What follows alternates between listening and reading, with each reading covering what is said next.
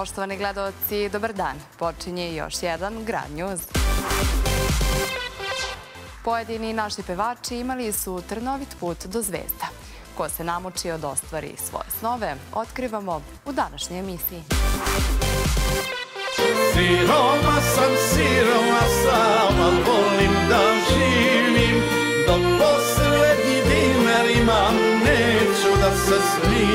Uz estradne zvezde uvek se vezuje luksuzni način života, skupi automobili, markirana garderoba i mnogobrojne druge pogodnosti.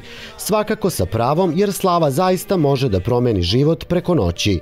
Radim ja, radim ja celog života Para nemam, sreće nemam, uvek siroma. Međutim, danas najuspešnijim ljudima na javnoj sceni život nije oduvek bio sjajan i bajan, a put do uspeha mnogima je bio više nego trnovit i težak.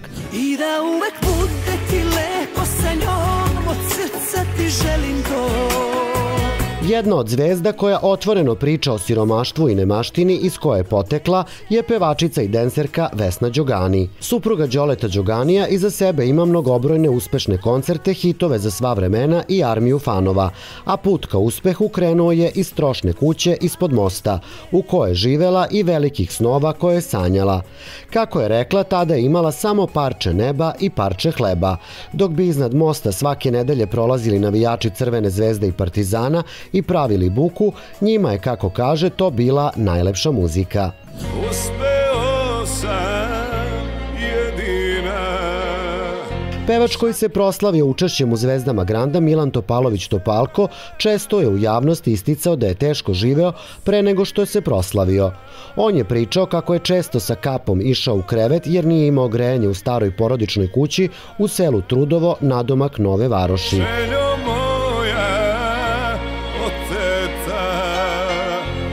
sreća mi je prokleta. Nakon audicije u Čačku, Topalku se život promenio iz korena, ali Milan je uvek isticao kako je, iako je odrastao u siromaštvu, bio veoma srećno dete.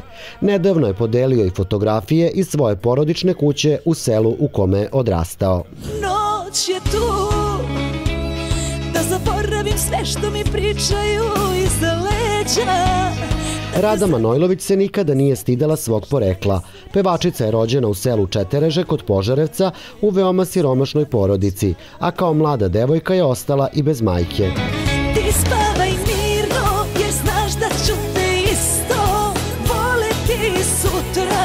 Bili su siromašni, ali srećni. Dok su tata i mama išli na njivu, sestra i ona su čistile i sređivale kuću. Ispričala je Manojlovićeva jednom prilikom.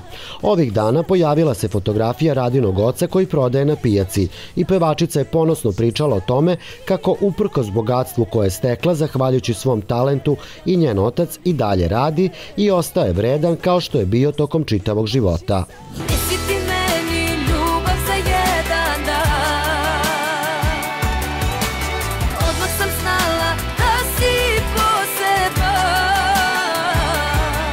Ni radinoj koleginici Aleksandri Mladenović put do slave i popularnosti kakvu danas uživa nije bio lak. Tokom takmičenja u Zvezdama Granda pevačica je štedela svaki dinar kako bi imala dovoljno novca da sebi obezbedi šminku, frizuru i garderobu. Kaže da se vozila autobusom na svako snimanje i da je bila bez dinara, a hranila se tako što je mama slala ajvar iz žitorađe.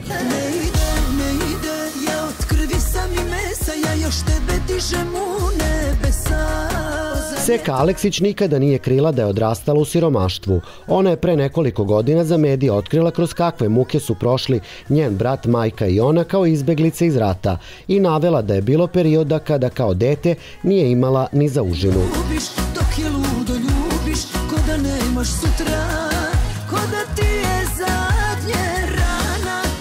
Vrlo mlada je počela da nastupa kako bi pomogla majci da se izvuče iz teškog života u koji su zapali zbog rata. Ona i brat su išli na svaki njen nastup i imala je sreću da je uvek imala muzičare koji su o njoj brinuli kao o najrođenijem detetu. Nije je bilo sramota što nekada nije imala za užinu i ekskurzije. Sa tim je naučila da se izbori i zbog toga je danas jaka i ne da na sebe i svoje. Živeli su godinama u sobi koju im je škola dala da koriste. Spavali su na strunjačama, a špored su dobili na poklon. Kažu bacaš pare, ubijaš vreme, Koca Božinovska istakla je jednom prilikom da su joj komšije poklanjale iznošenu garderobu da bi imala šta da obuče. Ispričala je jednom prilikom da je prepodne išla u školu, a popodne išla kod ljudi da radi kako bi dobila parče hleba.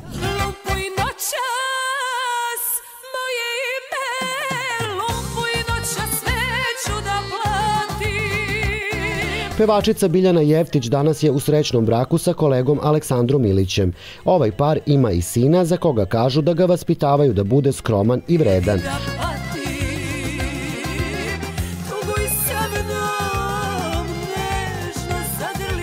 Međutim, život ove pevačice nije od uvek bio ovako idiličan. Naime, ona je odrastala u selu Grejač između Niša i Aleksinca, a u skromnoj kućici živelo je čak 10 članova porodice.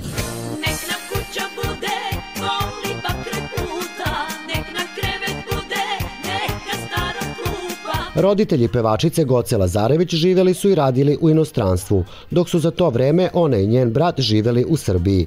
Istakla je da je veoma skromno živela u detinstvu i otkrila je detalje koji su joj ostali urezani u sećanju.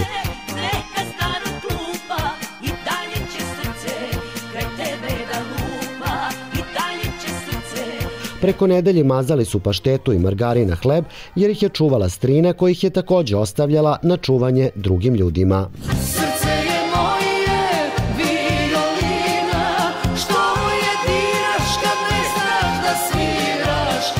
Kraljica narodne muzike Lepa Lukić medijima je otkrila da je na početku karijere jedva krpila kraj sa krajem, a o skupoj garderobi mogla je samo da mašta, pa je kasnije sav novac trošila upravo na krpice.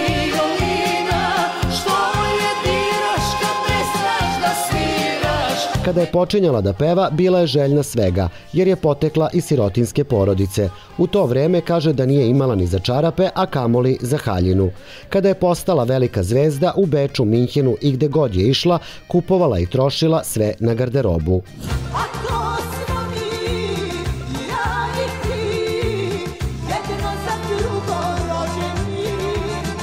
Pevačica Zorica Brunslik nije krila da je odrastala u bedi i siromaštvu, uprkos tome što je očeva porodica bila jako bogata. Folk zvezda živela je sa majkom, a u raskoši kod oca je samo povremeno uživala.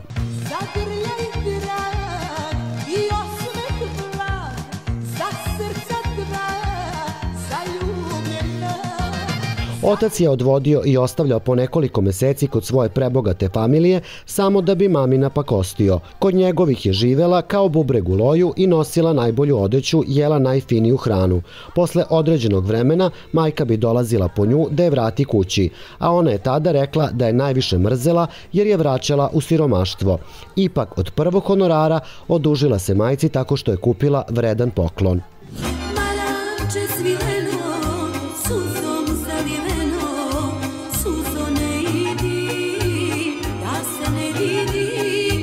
Suzana Jovanović, žena Saše Popovića, otkrila je svojevremeno u kakvim je uslovima živjela pre nego što se proslavila. Ponosno je što je dete sa sela iz radničke porodice. Uvek je isticala da je zbog te situacije postala dobar čovek i zna da ceni sve ono što danas ima.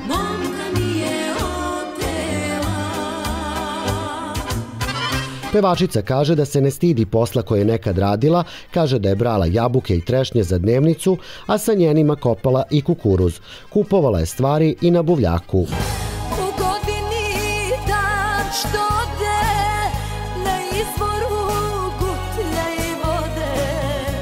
Petočlana porodice Tanje Savić živela je od jedne plate, sve dok Tanja nije postala zvezda Granda. Tanja je kasnije nadomestila svoj porodici sve ono što nisu imali dok su živeli u teškoj materijalnoj situaciji. Ja na dva, ja na dva, kažu isto je ko ja, to se tuga tebi ruga što te sreća izdala.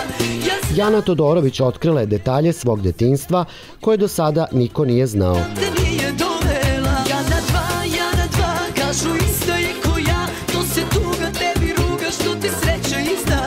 Naime, Jana je svoju bogatu karijeru započela od rane mladosti, pa je priznala da je sa 13 godina krenula da peva.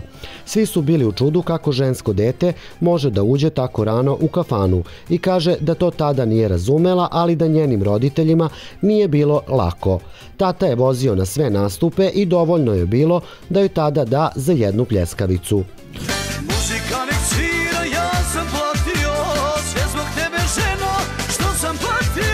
O nemaštini detinstvu govorio je i Radiša Trajković-Đani, koji je otkrio da je čuvao koze i odrastao na pasulju. Živo je u skromnoj porodici. Njegov otac je vozio autobus i imali su stoku koju je čuvao sam Đani sa njegovom braćom. Čuvali su i koze, ali i sejali krompir. Njegovo detinstvo, kako kaže, bilo je skromno, ali lepo. Najteže mu je padalo kada je morao da čuva koze, dok su njegovi vršnjaci igrali futbal. I opet u kavani Ispričao je da su najviše jeli pasulj jer nisu mogli mnogo da biraju. Pevač koji danas posjeduje nekoliko luksuznih nekretnina u Beogradu, jedan je od najplaćenijih pevača na našoj estradi, ali ne krije da je u mladosti najviše živeo na pasulju. Milioni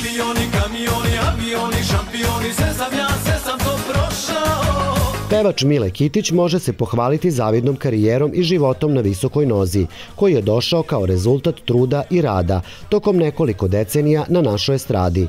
Međutim, put do uspeha ni njemu nije bio lak.